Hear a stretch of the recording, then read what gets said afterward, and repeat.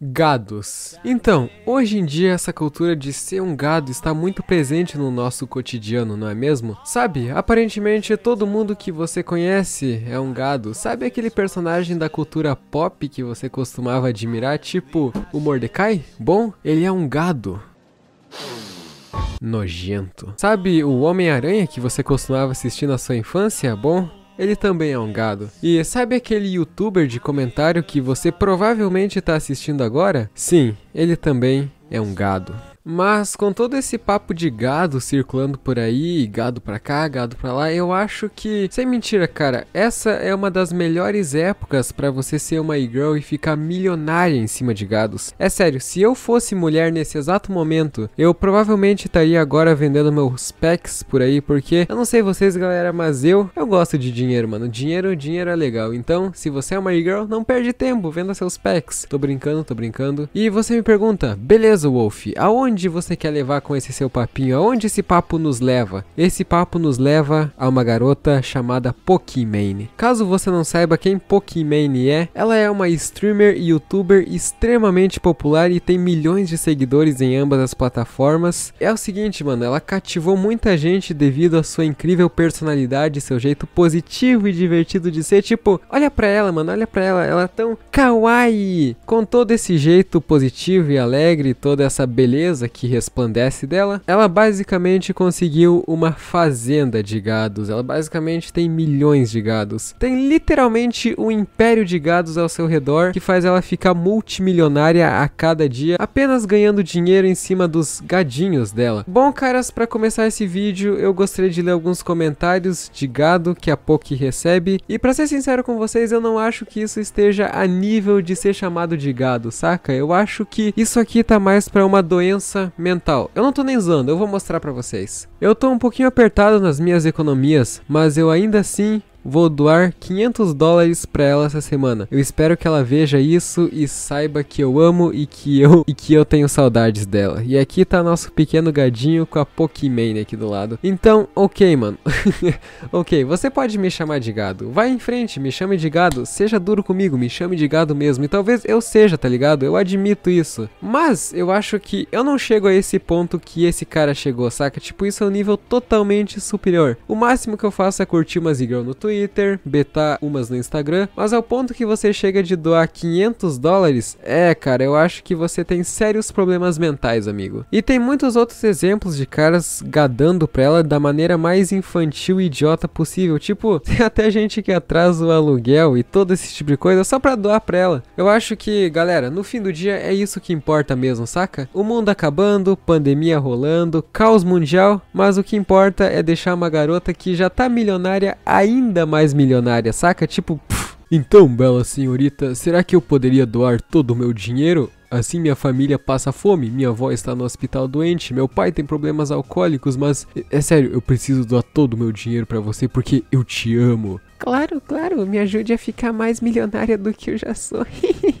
Mas enfim, vamos deixar essa história de gado um pouquinho de lado, beleza? Porque eu quero focar um pouco mais aqui nas polêmicas que a nossa querida e-girl, rainha da positividade e deusa dos gados se envolveu recentemente, beleza? Porque eu acho que vocês sabem, né? Se uma pessoa ela é tão perfeita assim, ela transparece ser uma coisa tão perfeita, bom, geralmente ela tem algo a esconder. Provavelmente ela é uma serial killer ou ela trabalha pra Ku Klux Klan, mas não é esse o caso, saca? Não, não chega a esse nível, fica tranquilo. Ela também é muito popular na gringa por se envolver em diversas polêmicas e eu quero aqui focar em duas em específico, beleza? É o seguinte, mano, ela consegue ser uma das maiores hipócritas que eu já vi passarem pela internet, saca? Porque é o seguinte, pegue como exemplo esse clipe aqui, onde ela fala que zoar a aparência de pessoas não é algo muito legal, é algo extremamente errado fazer isso em frente a milhões de pessoas.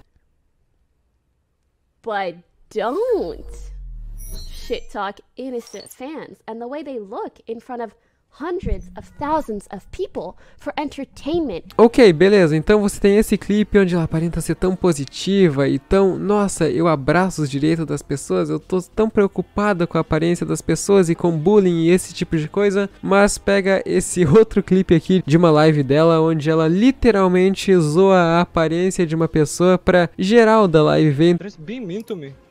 What? some people. They found my Instagram. Yeah, I found your Instagram, Instagram too. Ah! ah! That's me!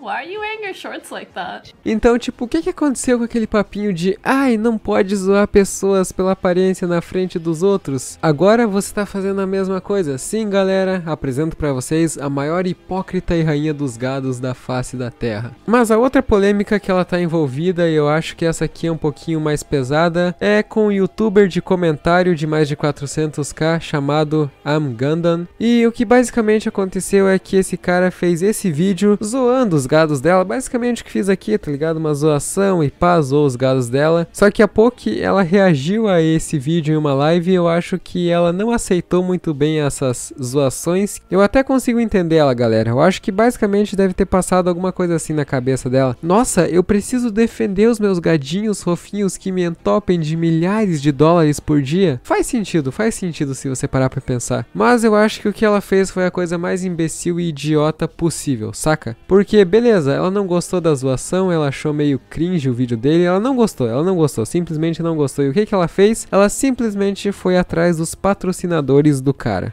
Anyone would sponsor these shenanigans.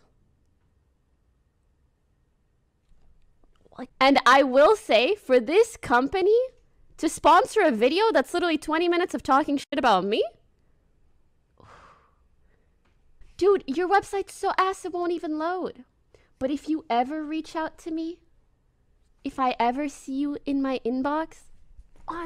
Uh, para você que não entende o que, que isso significa, é basicamente a maior idiotice que alguém pode fazer na face da Terra. Eu acho que é a coisa mais babaca que alguém pode fazer, saca? Mas sério, galera, ir atrás dos patrocinadores do cara, que simplesmente é uma coisa que envolve a vida financeira dele, saca? E isso poderia impactar de verdade ele, tipo, drasticamente a vida dele, saca? E tipo, tudo isso só porque ele usou alguns gados seus. Ah, meu amigo, sua porquinha suja e trapaceira. Mas uma coisa que não me entra na cabeça aqui, galera, é do porquê que uma mulher simplesmente multimilionária e extremamente popular vai atrás de patrocinadores de um canal pequeno, entre aspas. Tipo, caraca, é sério que você não aguenta algumas piadinhas? É sério que você precisa tentar ferrar a vida financeira das pessoas só porque ele zoou alguns gados? O que eu tô falando é que as críticas não foram nem pra ela, saca? Mas ela sendo uma babaquinha como ela é, ela teve que ir atrás dos patrocinadores do maluco, mano. E sério que você vai proteger os seus gadinhos a todo custo? Isso aqui acho que já virou um paradoxo, mano. Tipo, meu Deus, sejamos sinceros, a Pokimane já tá gadando os próprios gados. Acho que daria uma boa reflexão, saca? O paradoxo do gadismo. Uh. Mas enfim, tem várias outras polêmicas que ela tá envolvida que eu não quero me aprofundar muito nesse vídeo, mas simplesmente ela dá strike em vídeos onde os caras estão simplesmente criticando algumas atitudes atitudes que ela tem, que são bem,